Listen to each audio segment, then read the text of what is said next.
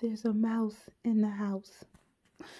Yes, I need help. Listen, I'm gonna try to make this quick, but don't you dare hit stop. You stay with me. You hear me, people? Okay. It's been a long time since I give I've given you a funny video.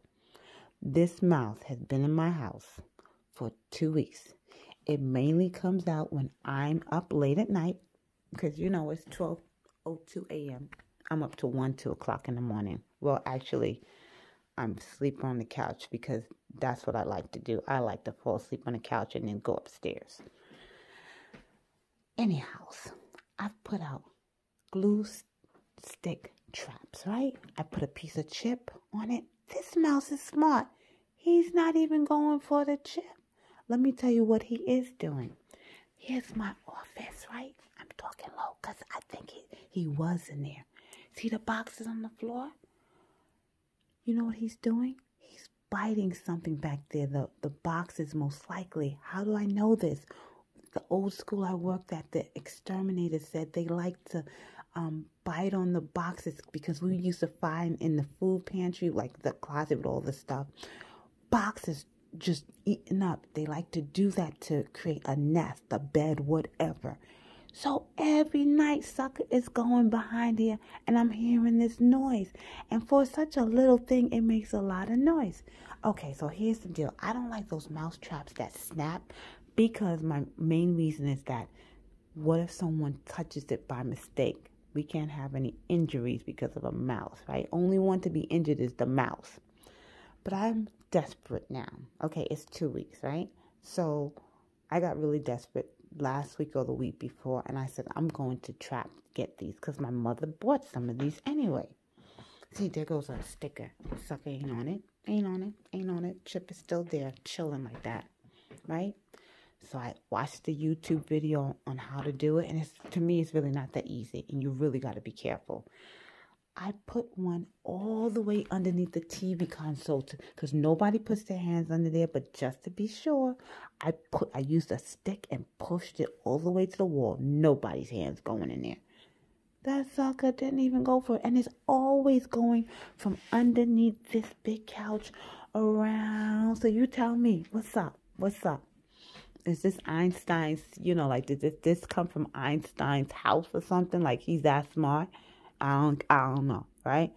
So then I read, you got to put traps together, close together. So I pulled that one from underneath there since it's doing nothing, was sitting there for a good week. So I put it in my office on the side and I put an actual um, mouse poison on it, right? Because this one lady said sometimes you, sometimes when they get smart, you got to give them poison so they get delirious and stuff like that. And then the little sucker goes on the trap because he's delirious, right? I put it there, but I didn't put, you know, I put on a trap. That sucker ain't even take it. One day I'm in my office, and all of a sudden the thing came from behind, and it jumped. It jumped right over the trap. Okay, all right, we got a problem. Then, so I got another trap. So now I have two of them near each other. I put peanut butter on that one. Nothing. I watched this other video. I guess these YouTube videos, folks, they're having luck. I wasn't. He said he really is not into the peanut butter. Definitely not the cheese. It doesn't work. Um, but he says if you're going to use the peanut butter, don't put it on the top part of where the bait goes. Put it underneath. And you want to put a good amount, he's saying, because you want them to stay there for a while until they set that trap off. Because it seems like the way that they're doing it, sometimes they're not going on top of the spring to set it off. Okay, so listen, last night I really had it because I said to myself, it really hit me. This ain't funny because this is germs. They have germs. Okay, so this is war. So I'm sitting on the couch and I heard it and I went and got another one. And this time I put the a whole bunch on top and underneath. And I wrote on there, no fingers. And so now, that's I normally would not put anything out like that because people, kids, but I'm staying up. I'm gonna I'm gonna go sit on my favorite couch where I'm gonna fall asleep and then wake up. And when it gets caught, I was hoping that Jonathan would still be up because he does like to stay up late with his forex, all that trading. Cause sure enough, I'm going to say, Jonathan, come get the dead mouse.